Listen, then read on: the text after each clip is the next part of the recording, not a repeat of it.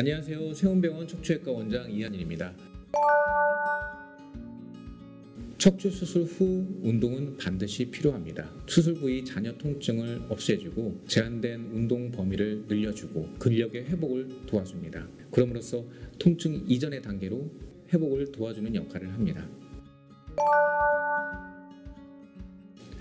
첫 번째로 자세 교정이 필요합니다. 수술 전에 있었던 잘못된 생활 습관의 교정이 필요하겠죠. 요즘은 대부분 직장인분들 앉아서 일하십니다. 앉은 자세, 서 있는 자세, 그리고 걷는 자세. 이러한 기본적인 몇 가지 자세를 교정해서 통증 재발, 나아가서는 척추 질환의 재발을 막을 수 있습니다. 자세 교정이 되었다면 스트레칭 동작이 필요합니다. 스트레칭 동작에서 주의할 점은 회전 동작과 같은 지나친 관절 운동은 피해야 합니다. 척추 스트레칭은 과하게 하면 오히려 독이 된다는 점 기억하시길 바랍니다. 이제 본격적인 운동을 할 텐데요. 수술 직후라면 걷기 운동이 가장 중요하고 손쉽게 할 수 있습니다. 걷는 운동은 유산소 운동이죠. 기본적으로 혈액순환에 도움을 줍니다. 수술 부위의 원활한 혈액순환이 산소와 영양 공급을 도와주면 회복이 빨라지고 염증 반응과 같은 부작용의 가능성을 낮춰줍니다. 또한 수술 중에 약화된 심장과 폐 기능에 도움을 줄 수 있습니다. 그리고 앞서 말한 자세 교정에도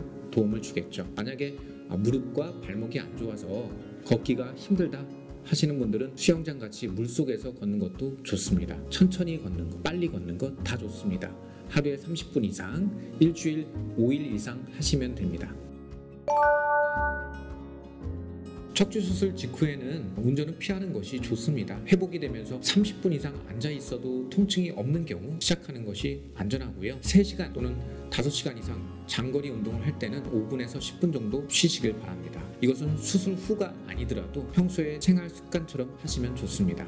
병원에 오시는 척추질환 환자분들 중에 운전 오래 하시는 분들 상당히 많습니다. 평소 생활 습관 중에 운전 중 잠시 휴식이 안전 운전에 도움이 될 수도 있고 척추 건강에도 안전장치 역할을 해준다는 것 잊지 마시길 바랍니다. 결론부터 말씀드리면 할 수 있고요.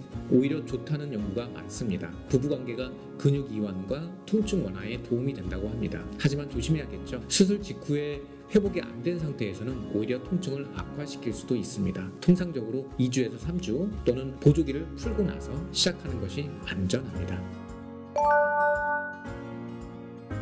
이제 사골국을 먹어도 괜찮은가요? 이런 얘기가 있어요. 좋습니다. 하지만 꼭 사골국을 찾아서 드실 필요는 없습니다. 수술 후에는 상처 치유와 몸의 회복이 필요합니다. 뼈에 좋다고 생각하는 칼슘뿐 아니라 아연과 같은 무기질, 비타민, 단백질이 풍부한 음식과 함께 충분한 수분 섭취가 기본입니다. 특정 음식에 편중돼서 편식하지 마시고 골고루 섭취하면 도움이 되겠습니다. 단 흡연과 지나친 음주는 수술 부위 염증과 뼈의 약화를 가져올 수 있으니 주의하시길 바랍니다. 지금까지 척추 수술 후 생활 습관에 대해서 알아봤습니다. 다음 시간에는 더 유익한 정보로 찾아뵙겠습니다. 감사합니다.